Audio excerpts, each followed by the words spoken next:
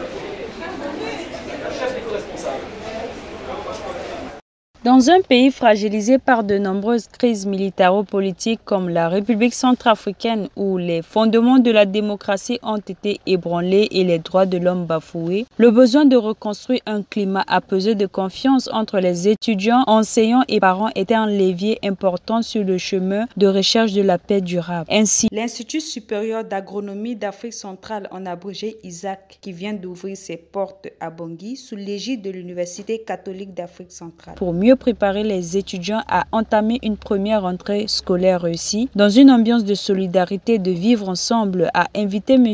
Pierre Winiki, concepteur du modèle arbre de confiance, à venir outiller ses étudiants et leur inclure cette notion qui est indispensable pour leur réussite. L'arbre de confiance symbolise l'éducation aux valeurs que nous voulons inculquer à nos futurs ingénieurs en agronomie formés euh, à l'intérieur de l'Institut supérieur d'agronomie d'Afrique centrale.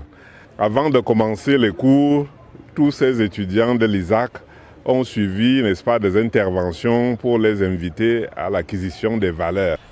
L'arbre de confiance, c'est une euh, modélisation qui présente les principaux types de comportements ou d'attitudes qui contribuent à créer ou à développer une culture ou des pratiques de confiance. Euh, comme institut catholique, nous avons pour souci de développer chez nos étudiants un certain nombre de valeurs. Et la confiance est l'une de ces valeurs.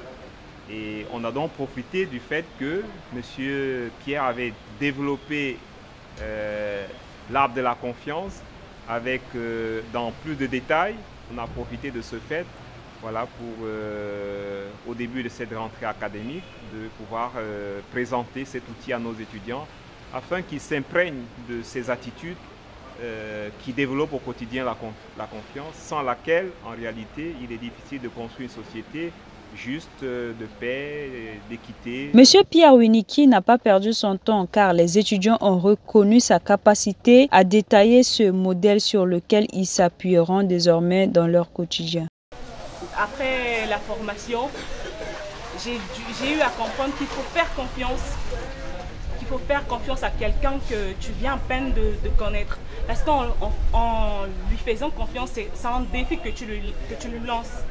Et en partant de cette confiance, cette personne aura également le courage de braver ses difficultés, ses limites, afin de, ne pas de décevoir la personne qui, qui, lui a placé la confiance. Moi, je loue beaucoup plus cette initiative et j'aimerais vous proposer que ça sera vraiment important que ça puisse euh, s'épanouir dans d'autres institutions, peut-être à l'Université de Bangui euh, nationale euh, et dans d'autres institutions des jeunes pour cette initiative, pour que ça puisse nous aider beaucoup plus comme nous sommes dans, des pays de crise. Voilà, ça pourrait vraiment contribuer à, la paix. Alors, est-ce qu'il y en a parmi vous qui ne partageaient pas cette conviction, qui pensaient que si vous pardonnez, c'est pas pour ça que la personne va refaire la même chose en pire? Ah, vas-y, alors euh, notre ami. Moi, je dirais le contraire dans le sens que si tu pardonnes la personne, déjà, c'est un fardeau que tu lui donnes. C'est un fardeau que tu mets sur lui, au fait. Et il va se reprocher toute sa vie que voilà, j'ai eu à faire du mal à cette personne, mais euh, elle a eu le courage de me pardonner aussi facilement. Et quand elle te voit, cette personne, elle a vraiment du respect, quoi. Elle a du respect pour toi, parce que c'est ce que j'ai vécu. Tu as partagé une belle émotion. Une belle émotion, c'est bravo, je te félicite. C'est vraiment formidable d'avoir témoigné de, aussi personnelles. C'est vraiment bien. Pour couronner tout, deux arbres ont été plantés dans l'enceinte de l'université catholique par les autorités religieuses. Ceci témoigne donc la volonté des étudiants, enseignants et cadres de l'université à se souvenir et à promouvoir cet arbre de confiance.